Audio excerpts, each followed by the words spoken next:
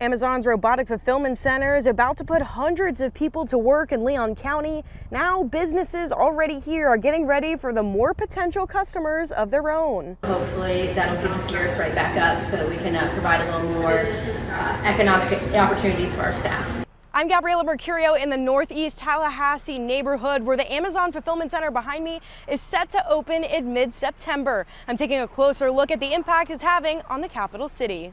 We were a little um, nervous at first because we weren't sure what that was going to mean for us. That's Alex Harris, a manager at Backwoods Crossing. It's a local family owned business run by two brothers. They serve farm to table meals. They're located just down the street from the newly built Amazon Fulfillment Center. With the center opening in just a few weeks, Harris tells me we weren't sure if we were going to be overwhelmed with all of the business. Amazon reports that they will probably be at full employment, which um, equates to more than 1,300 jobs um, by the holiday season. Keith Bowers directs the Office of Economic Vitality. Tuesday morning, he told me more than 700 people in our area have already applied for open positions at the massive facility.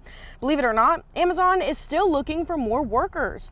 Bowers and Amazon have enlisted the help of CareerSource Capital Region to help fill those positions. They pretty much have worked with us. We've been able to funnel folks their way, and that's what we're here to do. With an average unemployment rate of 3.4% in the capital region, CEO James McShane says people in Gadsden and Wakulla County will benefit from the new opportunities here. Most people will travel 50 miles for a good job. So if you take that and go around, it's it's a big area, so uh, so it's going to affect a lot of folks in a positive way. With a starting minimum hourly wage of $16 and benefits, Bowers says it'll have a bigger impact on our area. More than $33 million in annual um, salaries and wages that are being paid. And that money stays right here in, in our community. Money in the community that will benefit local businesses like Backwoods Crossing. We have had to cut our labor hours over the summer, so hopefully that'll just gear us right back up so that we can uh, provide a little more uh, economic opportunities for our staff. So we're grateful for the new business.